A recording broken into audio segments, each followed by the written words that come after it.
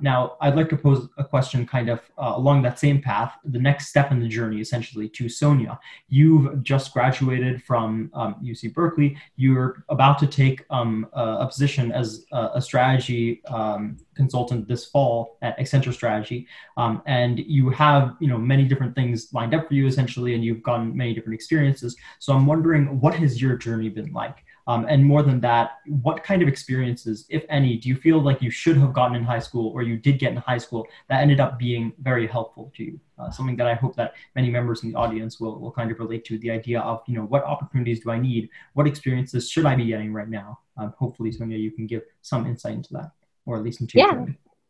Yeah, absolutely. And I definitely echo everything Nikita is saying. Um, I'm really, really glad that she shared that because that's something I wish I had known earlier. Um, but nevertheless, as I look back on my journey through the ends of high school and college, I see that I did embody it to um, some, some sense. Um, so I would say the nice thing about when you transition into college, and I'm hoping there are some upperclassmen high school students here um, that this will be a little bit more relevant to, but as you transition into college, a lot of uh, what feels like the barriers of getting into college are removed, and you're no longer necessarily doing things for the application and for the college admissions councils to look at.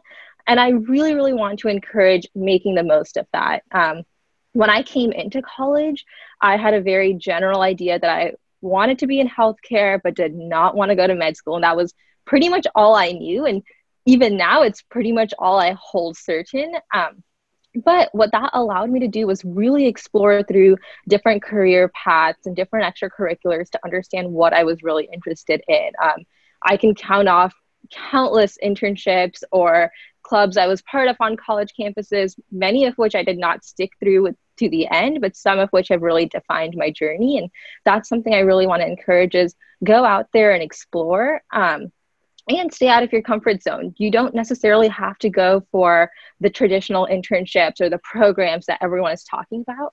Go and make your own opportunities. And this kind of ties into um, insight that I would definitely have for high school students. It's this is much, much more important as a high school student because many of those programs don't really exist. And the ones that do are very, very selective that not everyone um, can get into or has access to. So I really encourage going and making up making your own opportunities. Um, that's a lot of what I did. A lot of what my resume is made up of, and has been some of uh, the most beneficial experiences I've been part of. And so you're probably wondering, what does that mean? How do I just get up and do something? Um, this, I, I think that in its uh, in itself demonstrates a lot of the skills and characteristics like Shafiq was mentioning um, to other people that are going to be looking at your application. You really have to get out there, cold email people in your network, start finding people on LinkedIn, just go around and look at things that interest you. Maybe find a research lab at a school that has interesting topics, or you're reading a book and the author makes some good points. You happen to see some posts on LinkedIn whatever it might be, go out into the world and find those things and reach out to people, have coffee chats, um, tell them what you're interested in. And I would say start with a learning mindset. Think about, you know, what part of this really, really interested you in the beginning. Um, start asking them questions from there. And a lot of times those conversations lead to having more people in your network and mentors. And these people will eventually open up doors for you that likely would not have existed otherwise.